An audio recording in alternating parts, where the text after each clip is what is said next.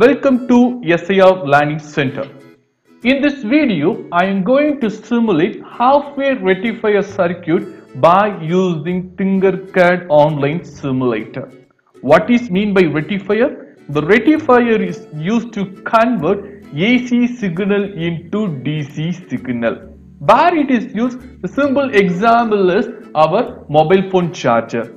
The input of the mobile phone charger is AC signal. It is from the substation. The voltage becomes 230 volt 50 hertz AC supply. This signal can be that is this voltage can be converted into DC that means 5 volt or 9 volt by using this rectifier circuit. This rectifier can be classified into different types. One is a half-wave rectifier, full-wave rectifier and bridge rectifier. In half wave rectifier, only one diode can be used. In full wave rectifier, that is two diode can be used. In a bridge rectifier, four diode can be used. Now I am going to simulate only the half wave rectifier in this video. Okay, now I am going to create a new circuit. In this new circuit, we are choosing the different components. The essential components of the half wave rectifier is the first one is the transformer. The first one is the transformer. What is the use of the transformer? The 230 volt to be converted into 9 volt. That means we are using the step down transformer to down the voltage from 230 volt to 9 volt or 5 volt by using the step down transformer. The output of the step down transformer is 9 volt 50 hertz here I am using. Okay? In a Tinkercad online simulator the transformer is not available. That's why I am going to generate this 9 volt and 50 hertz signal by using the function generator. By, by using the function generator. That's why first I am going to select the function generator. Okay? This is the function generator I am placing here in this function generator, the amplitude value becomes 9 volt, the frequency value becomes 50 because of the output of the transformer is 9 volt 50 hertz, the DC offset voltage value becomes 0.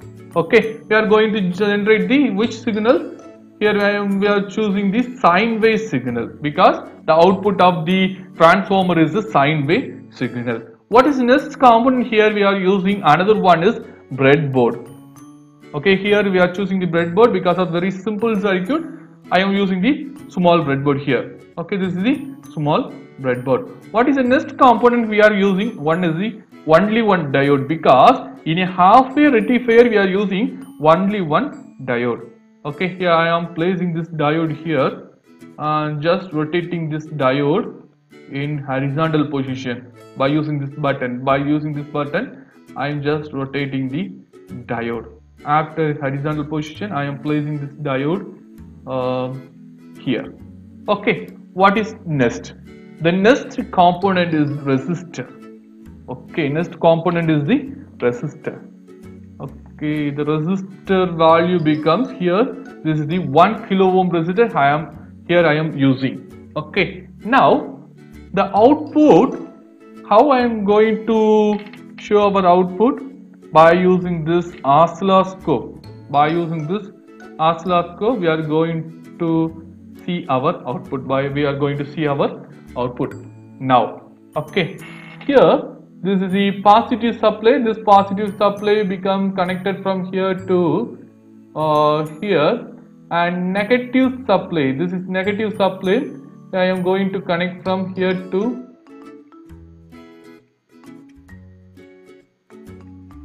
here. Okay change the color of this negative supply this is black color. Okay next the input of the diode is this is the which terminal? This is the anode terminal. There is a two terminal in this diode. One is anode another one is cathode. The cathode terminal is nearest to this white bar. Okay this anode terminal is the input. We are going to apply the input from the source. That is the a function generator 9 volt 50 hertz signal 9 volt 50 Hz signal to be applied to the anode terminal where I am going to take the output. Before going to take the output, the capacitor that is a resistor 1N to be connected from the ground. One terminal is connected to the ground that is negative supply voltage. Where I am going to take the output? Across the resistor we are going to take the output. Here the resistor is used to act as a load. Here the resistor is used to act as the load. Okay. I am going to change small corrections here. Okay. This is the supply voltage. Okay. Next I am first we are going to check the input voltage okay this negative to be connected from here to here and here changing the color this is the ground okay next we are going to take the positive supply voltage where I am going to take the positive supply this is the positive supply voltage that it means sine wave signal can be generated here.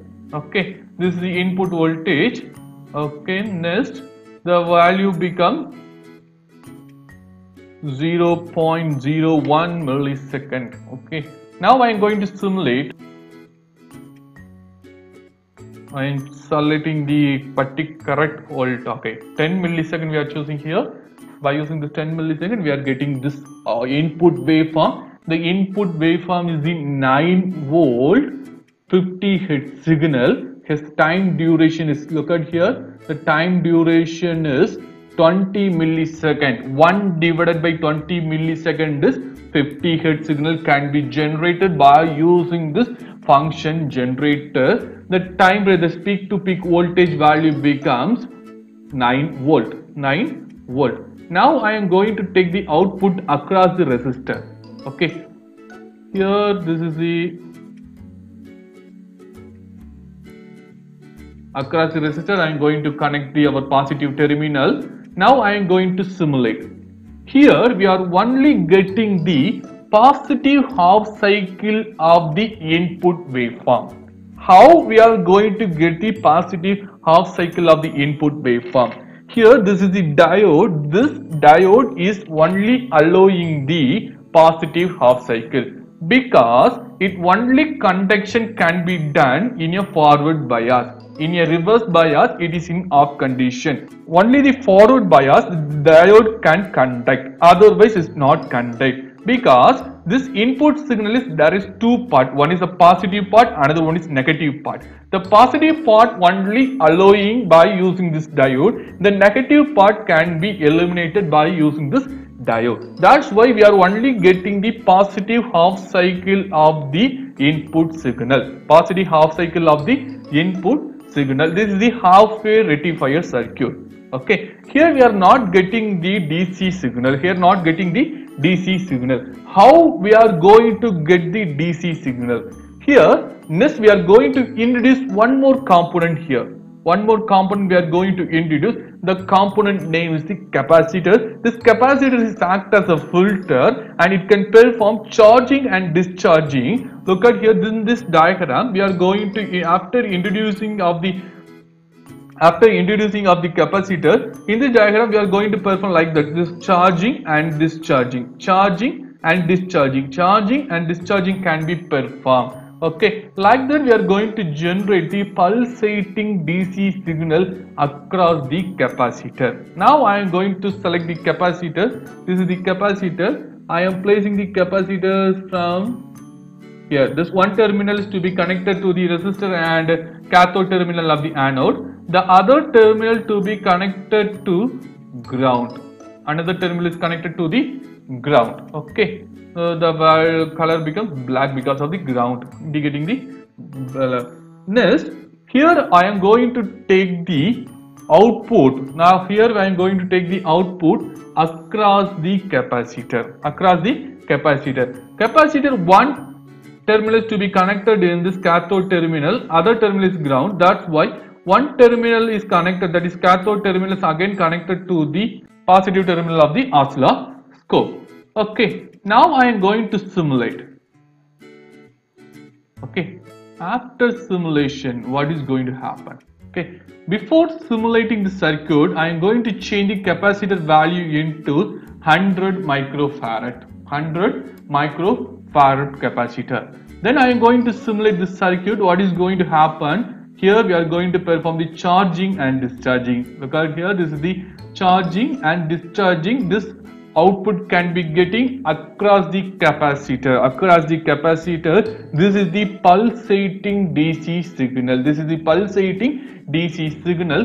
This pulsating dc signal we are going to measure the efficiency. How we are going to measure the efficiency? By using the DC output power divided by AC input power. The efficiency of the half-wave rectifier is the efficiency of the half-wave rectifier is 40.6 percentage 40.6 percentage. Okay the distance from this to this okay this is called as the ripple factor. This is called as the ripple factor. Here is nearly is equal ripple factor of this half wave rectifier is 1.21 half wave rectifier ripple factor is equal to 1.21 is actually calculated from this theoretical calculation. But in practical manner some variation is there. Some variation is there. Okay. This is the half wave rectifier circuit. Is generating the pulsating dc signal pulsating dc signal.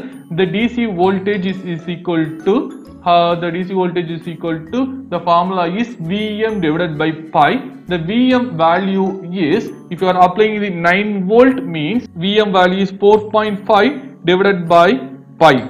Okay, divided by pi that value is equal to 1.43. The value is equal to 1.43 DC signal can be generated by using this circuit by using this circuit. This is the half-wave rectifier. The clear explanation and all formulas are available in this presentation. This presentation link is available in description. You can go through my blog and take the presentation for your reference. Okay. Thank you. Thank you for listening this video. Thank you.